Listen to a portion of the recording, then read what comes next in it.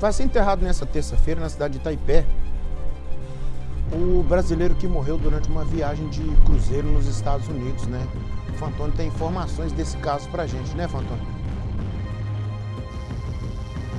É, Nicomedes, após 22 dias, a família conseguiu trazer o corpo desse brasileiro dos Estados Unidos para Itaipé, onde o corpo está sendo velado e vai ser enterrado a família fez uma mobilização entre parentes, amigos, é, uma vaquinha online, onde as pessoas puderam fazer ah, uma contribuição e ajudar a trazer o corpo desse brasileiro para a cidade de Itaipé.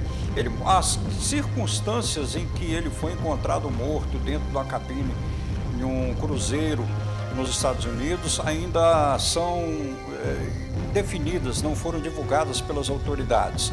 E o que a família precisava era justamente desse momento de fazer essa despedida, isso vai ser feito, está sendo feito.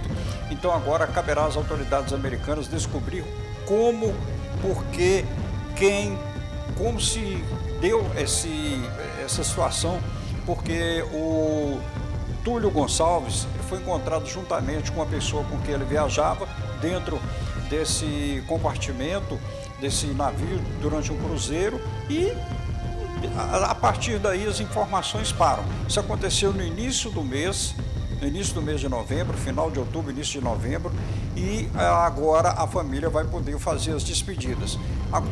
Vamos aguardar, não sei se as autoridades americanas vão divulgar o que aconteceu, mas a família o que pesava para a família era justamente isso, poder trazer o corpo, fazer as despedidas. Vale ressaltar que o Túlio prestou serviço ao exército americano, então era uma pessoa bastante ativa, bastante é, é, comunicativa e tudo isso fica uma interrogação.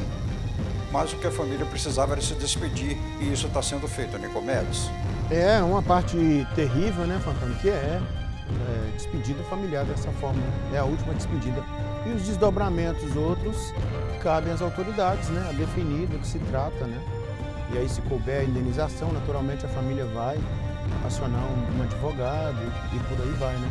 Nossos sentimentos aos familiares. Obrigado, viu, Antônio, pela informação.